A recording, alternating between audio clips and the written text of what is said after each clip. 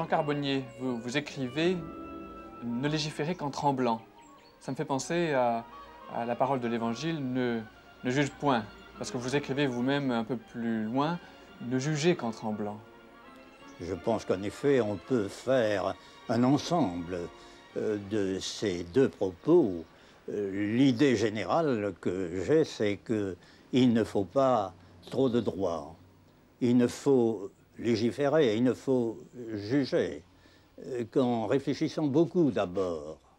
Nous avons, je pense, trop de droits. Et lorsque j'entends dire, c'est une sorte de formule à répétition, qu'il y a quelque part, quelque part, un vide juridique, et alors qu'il n'y a qu'à faire une loi pour combler ce vide, je dis, arrêtez, réfléchissez. Croyez-vous qu'il y ait vraiment un vide juridique? Ne croyez-vous pas que dans le, euh, la multitude de lois que nous avons déjà, il n'y a pas déjà une réponse à la question que vous vous posez Oui, je pense que nous avons plutôt trop de droits que pas assez.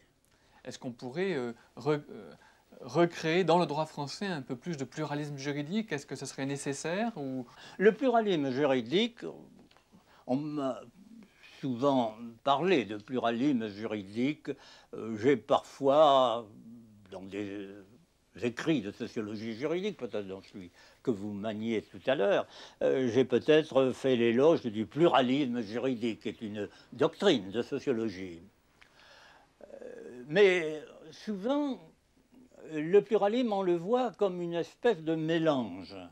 Je prends, euh, n'est-ce pas, un, vase qui contient une certaine quantité de vin, je vais mettre de l'eau dedans, ou réciproquement, où je vais mélanger des liqueurs différentes. Et il va y avoir, au sortir de l'opération, il va y avoir quelque chose d'un peu mélangé, n'est-ce pas? Et c'est ça, le pluralisme, ce serait euh, l'amalgame. Non, je pense que ce n'est pas ainsi qu'il faudrait procéder en France. Et, euh, je crois, euh, dans la mesure où il m'est arrivé euh, plus ou moins de légiférer, je crois m'être inspiré de cette idée, euh, faire que résultat de la législation, il n'y ait pas une fraction euh, de euh, la population française qui se sente marginalisée par ce que l'on a fait. Il faut tout de même avoir égard à la diversité des réactions.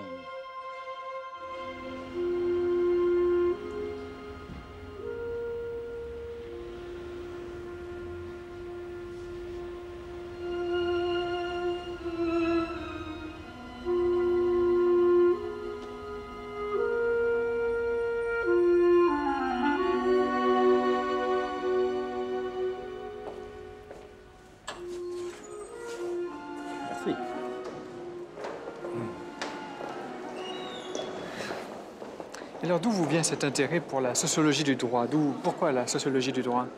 Pourquoi la sociologie du droit? Parce que euh, quand je faisais mes études de philosophie, j'avais été frappé euh, par euh, un livre de Lucien Lévy-Bruhl, La morale de la science des mœurs.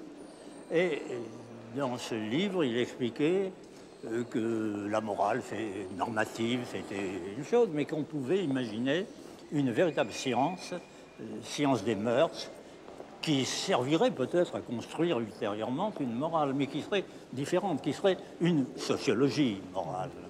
Je m'étais dit, est-ce qu'on ne pourrait pas imaginer la même euh, division pour le droit, c'est-à-dire, il y a bien sûr le droit que j'appelle, à partir de là, j'ai commencé à l'appeler le droit dogmatique, on m'a pas toujours pardonné, mais enfin, l'expression est entrée dans le langage maintenant des juristes. Le droit dogmatique, c'est-à-dire le droit tout court. Euh, on pourrait, à partir, à- côté du droit dogmatique, imaginer une sociologie du droit.